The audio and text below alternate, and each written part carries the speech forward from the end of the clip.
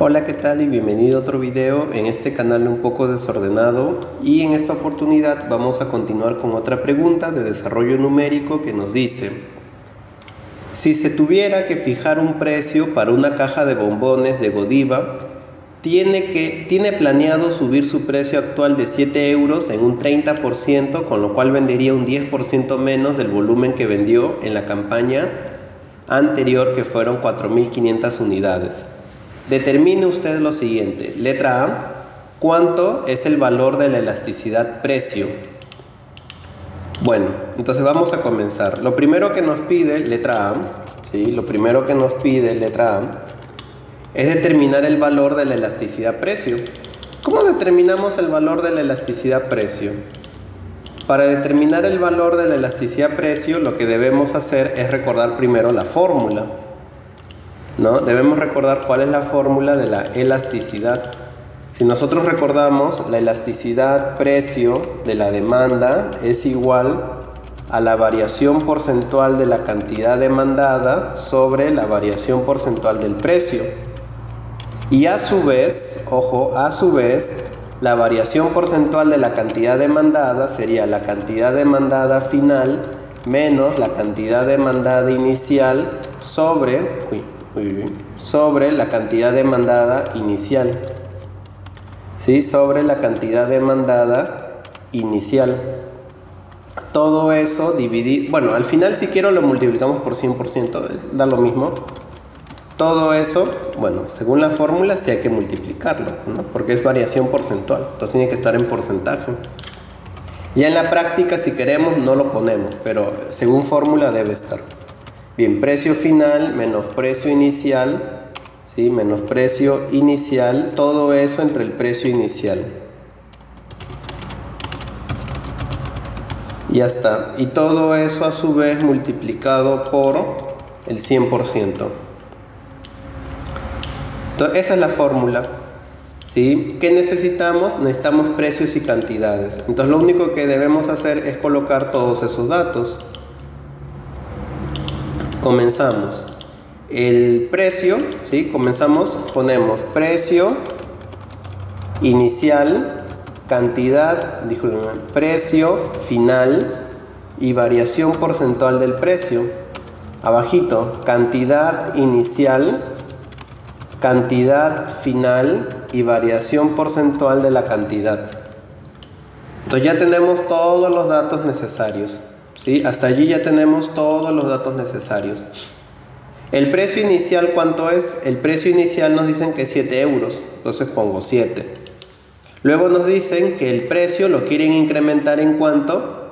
Tiene planeado subir su precio actual de 7 en un 30%. O sea que el precio ya no va a ser 7, va a ser 7 por 1 más el 30%. O sea que luego el precio va a ser 9.10. Si queremos, ¿sí? no es necesario, pero si queremos lo podemos colocar como euros, como nos dice allí. Buscamos aquí nada más euro. No lo encuentro. Ruso. A ver, lo hubiera dejado como estaba, no me hubiera complicado queriendo buscar el euro. Bueno, por acá debe estar. Euro, euro. Ah, creo que está acá afuera, ¿no?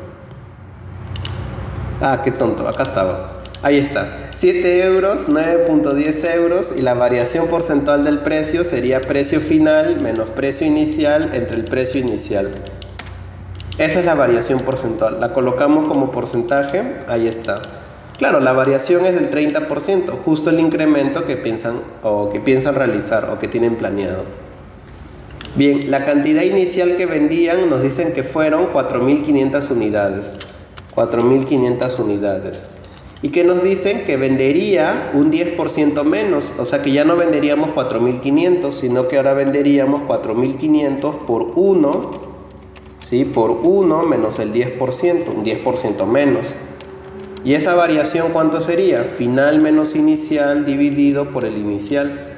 Y ello, todo ello colocado como un porcentaje. Bien, entonces ya tengo la variación del precio y la variación de la cantidad. Ya podemos hallar aquí un costadito la elasticidad, precio de la demanda.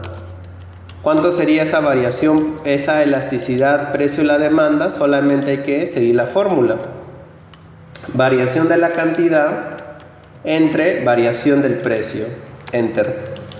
Y ya está, esa es la respuesta. Pero recordemos que la elasticidad es solamente un número. O sea que en este caso la solución A sería que la elasticidad precio la demanda, ¿cuánto es? Menos 0.33. ¿no? que es la variación de la cantidad entre la variación del precio. Sigue la fórmula, variación de cantidad entre variación del precio. Ahí está. Muy bien, ya tenemos la primera respuesta, letra A. Luego nos dice cuál es el tipo de demanda. Nosotros sabemos que dependiendo del valor de la elasticidad, nosotros podemos tener diferentes tipos de demanda. En este caso, debido al valor que tiene, nosotros podemos afirmar que es una demanda relativamente inelástica al precio, porque en valor absoluto vale menos de 1, o sin valor absoluto es menor a menos 1, o mayor, mayor a menos 1, sin valor absoluto. Bien, entonces nosotros diríamos lo siguiente. La pregunta B nos dice que, cuál es el tipo de demanda. Nosotros decimos el producto tiene una demanda relativamente, ¿sí? relativamente inelástica al precio. Punto. Ello significa que es poco, o sea, sí es sensible, pero es poco. Ello significa que es poco sensible al cambio en el precio, coma. Un cambio en el precio, un cambio en el precio, entre paréntesis, ¿cuánto cambió el precio? 30%, un incremento, genera un menor cambio en la cantidad demandada. ¿Cuánto cambió la cantidad demandada? Menos 10%. O sea, mientras que el precio subió 30, la cantidad bajó, pero bajó solo 10. Bajó la tercera parte de lo que subió el precio. O sea, el precio sube mucho, pero la cantidad varía poco. Es poco sensible justamente por ello. Entonces aquí la respuesta es una demanda relativamente inelástica al precio. Ya está la letra B. Letra C me dice cuánto sería la variación de los ingresos. Bueno, para determinar la variación de los ingresos tendríamos que hallar ingreso inicial, ingreso final, nada más. Pero tomando en cuenta que no nos aclaran si se refiere a la variación en euros o si se refiere a la variación en porcentaje.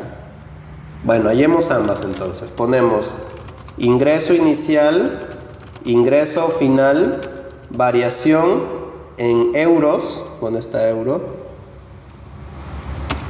A ver, creo que si escribo, uy, si escribo así se vuelve euro, no, si escribo así, creo que era en paréntesis, ajá, variación en euros del ingreso total ponemos, del ingreso total, y abajo calcularemos la variación en porcentaje del ingreso total. Entonces, eso es lo que tenemos, ¿sí? Eso de allí es lo que tenemos. Un momento, un momento. Ya está. Eh, hallemos cada uno de ellos, ¿sí? Hallemos cada uno de ellos. El ingreso inicial, ¿cuánto sería? El precio inicial por la cantidad inicial. El ingreso final, el precio final por la cantidad final. Eh, la variación del ingreso, final menos inicial. Y la variación porcentual sería final menos inicial sobre inicial. Ya está.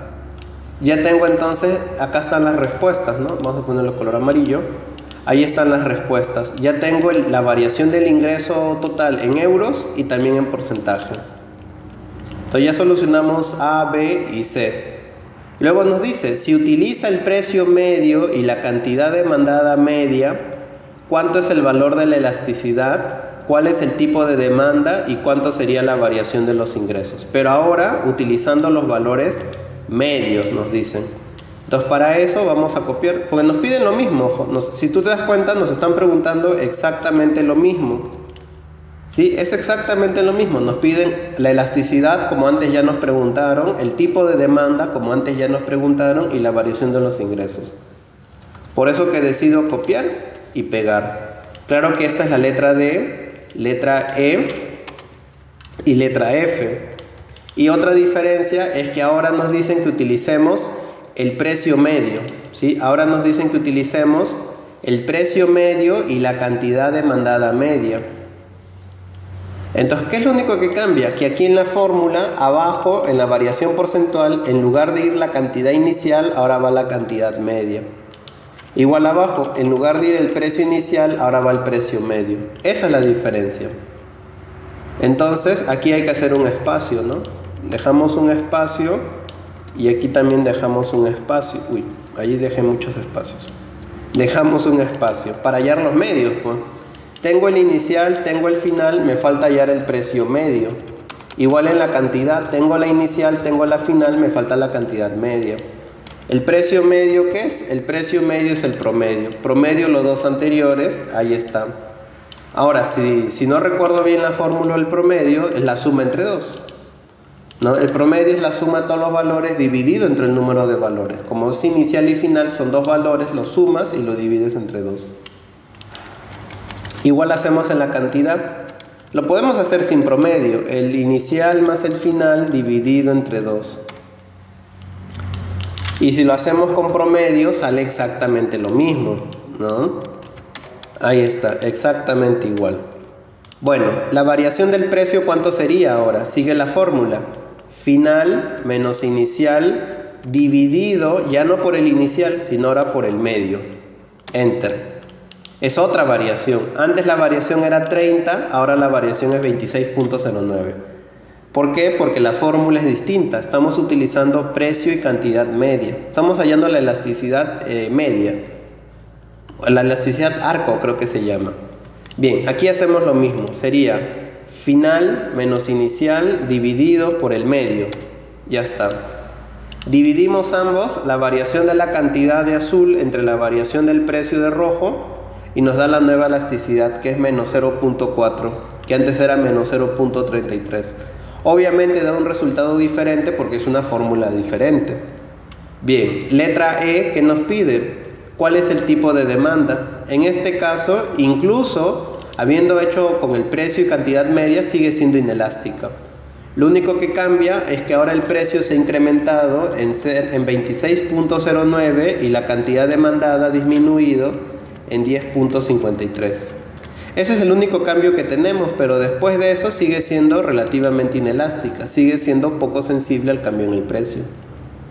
Y letra F, ¿qué es lo único que cambiaría? Bueno, la variación del ingreso total sigue siendo la misma, final menos inicial. Quizás lo que podríamos decir que ha cambiado es la variación porcentual. ¿Por qué? ¿Por qué cambiaría la variación porcentual? Porque ahora, aunque no tiene mucho sentido hacerlo así, podemos hallar un ingreso medio, ¿no? Sumamos, sumamos inicial más final dividido entre 2 y ahí está el ingreso medio. Con ese ingreso medio, ¿qué vamos a hacer? La variación no cambia porque sigue siendo final menos inicial. La variación porcentual cambiaría porque ahora es final menos inicial entre medio. O sea que hubo un incremento, al igual que antes, pero ahora fue tan solo del 15.67%. Bueno, entonces esa sería la solución. Espero que esta pregunta sobre elasticidad precio la demanda y elasticidad precio de la demanda con precio medio y cantidad media se haya entendido. Que sigas visitando el canal, que sigas encontrando más videos de tu preferencia. Nos vemos en una próxima oportunidad. Chau, chau.